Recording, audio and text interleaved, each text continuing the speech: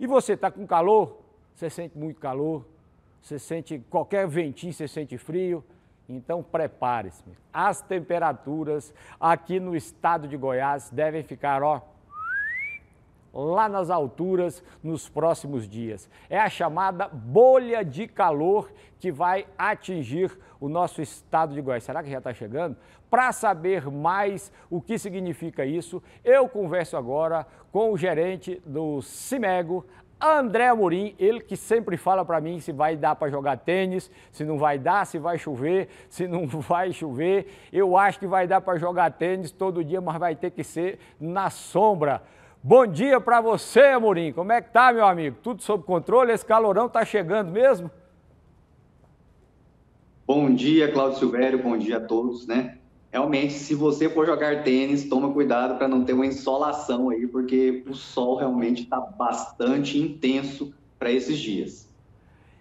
E pode piorar? O, o, o que está que tá sendo previsto? Que onda de calor é essa que está chegando aqui? Essa bolha de calor, essa temperatura que estamos aqui na faixa de 30, 32, pode elevar mais ainda, Morim? Então, vou tentar mostrar aqui para vocês aqui o mapa que está atrás de mim, rapidamente.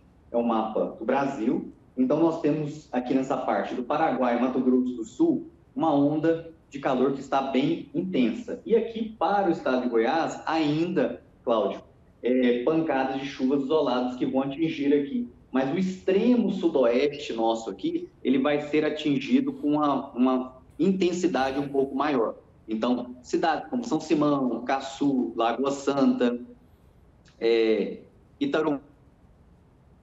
Então, aqueles municípios ali eles vão ser atingidos com uma temperatura um pouco mais elevada, 3 graus a mais da, do que a média normal para o período. E esse calor que nós estamos sentindo aqui em Goiânia, e vem aqueles pancadões, é aquele calor já normal para o período do verão.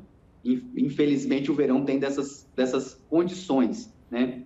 O céu amanhece com uma, algumas nuvens e no período da tarde evolui para aquelas pancadas de chuva. Só que essa semana, essas pancadas de chuvas que podem vir com uma certa intensidade, elas vão ser muito irregulares. Então, chove no município, chove num bairro, não chove em outro.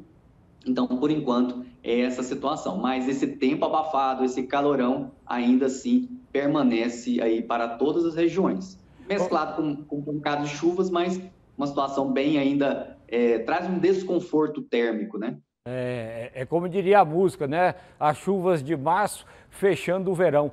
Eu estou escutando muita gente falar, Amorim, assim, ah, esse ano vai chover menos, esse ano vai ser um sol de lascar e tal. Dá para ter uma previsão assim para ano todo? Eu acho que não dá não, Amorim. Então, vamos falar um pouquinho de prognóstico, né? Até para o nosso telespectador entender o que teremos aí pela frente. Por que, não, por que essa irregularidade no dia de hoje? Né? Nós estamos no dia, no, eu falo no mês de março.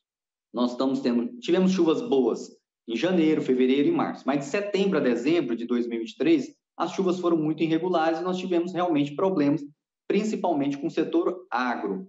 Só que essa essa situação das chuvas irregulares de setembro a dezembro trouxe um saldo negativo para a nossa conta. Eu falo qual que é a conta? A conta da chuva que chega e ela não foi capaz de recuperar os nossos mananciais. Então, essa preocupação, ela é real, viu, Cláudia? A gente já deixa o alerta para os produtores rurais, quem mexe com gado, de leite, gado de corte, e também para quem está na cidade. Então, o que nós teremos? Nós temos que fazer um uso mais racional da água. Por quê? Ainda teremos chuvas nesse mês de março, meados de abril, e a chuva vai se despedir. E nós vamos entrar de maio. E quando chegar maio, o, o El Ninho vai se despedir da, de nós. Então, nós vamos, vamos entrar em neutralidade, mas é nosso período climatologicamente conhecido como período de estiagem aqui em Goiás. E as chuvas estão previstas para voltar em meados de outubro. Meu então, nós Deus. teremos um período seco muito crítico aqui no estado de Goiás. Então, é preciso o setor produtivo se preparar para os próximos meses. Temos observado os mananciais com um volume menor de água esse ano, em decorrência aí da herança desse El Ninho que deixou aí para nós. Então, assim, ainda assim, uma situação aí que traz preocupação. É, preocupação mesmo. Então, vamos economizar, né? A gente não faz a nossa parte, só fica pedindo para o Papai do Céu, mas a gente tem que fazer a nossa parte também. Valeu, Amorim. Obrigado, garotão. Então, hoje, se for para o play, eu vou na sombra, viu? Ok, vai lá. Um grande abraço a todos. Estamos sempre à disposição. Tchau, tchau.